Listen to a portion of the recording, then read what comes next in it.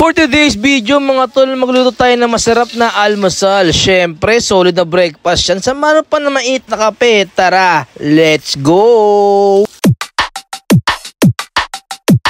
Yun, yun, yun, yun. Nandito na naman tayo sa episode series natin mga tol. Episode 32, Solid the Breakfast. Mahilig din ba kayo kumain ng breakfast mga tol? Especially sa umaga, di ba? De, biro lang mga tol. For today's video mga tol, magluluto tayo ng typical classic Filipino breakfast. Silog lang to mga tol, pero napakasolid nito. Gumawa pala tayo ng homemade tapa natin mga tol. Partner yan tol ng hotdog, itlog, pati sinangag, di ba? Samahan pa natin ng suka, paminta, bawang na sausawan, di ba? Papaano ba nagsimula ang silog sa Pilipinas mga tol? Siyempre tol, na-influensya na naman tayo ng mga Espanyol. Nagsimula yan tol sa kanilang appetizer, tinatawag nilang tapa o tapas. Siyempre tol, Pilipino tayo, magaling tayo mag-imbento ng mga pagkain natin. So, sinamahan natin siya ng fried rice, pati mga itlog mga tol. Kaya tayo naka-imbento ng mga silog meals, di ba? Nag-umpisa sa C, tapos pork C, tosi, long C, chick C, bang C, back C, hot C. Tapos tol, nadagdagan na rin yan ng embutido, di ba? Tapos toyo,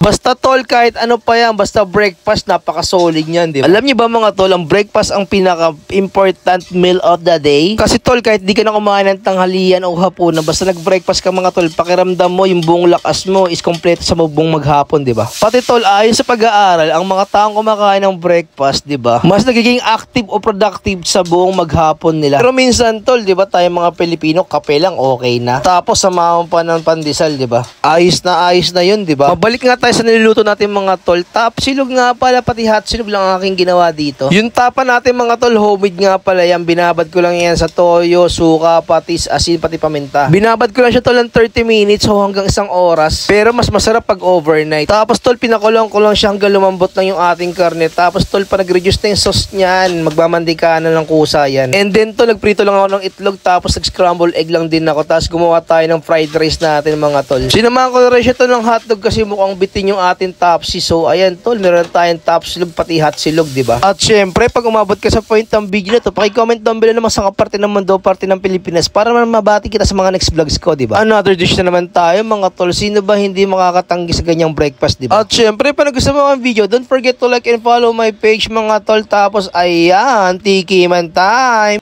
Yun! Yun, yun, yun. Tol, tikimatin nito kong tapa hotdog, itlog, pati sinangag mga tol. Tikman natin yan tol, syempre yan. Kuha tayo ng ano, tapa na may ano, kanin.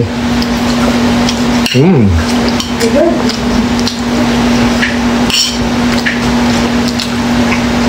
Tol. Siyempre hotdog. Mmm. Siyempre tol, meron yan ano, suka, bawang pati paminta, sausaw. Sa tol. Mmm.